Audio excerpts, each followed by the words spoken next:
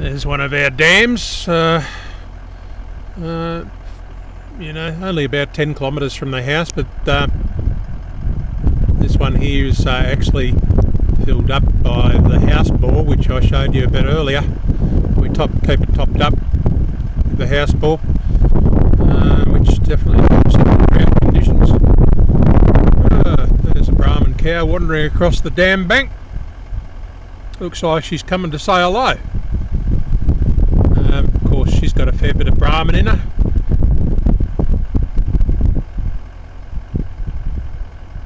Here she is. See the hump on her back?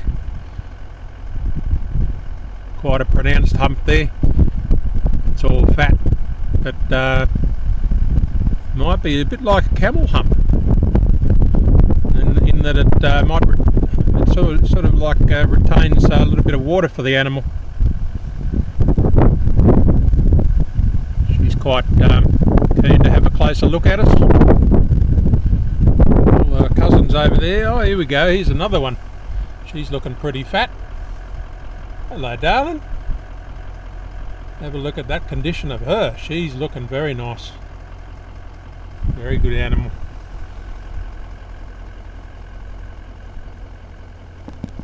That one there looks like it could have a bit of Charolais in it.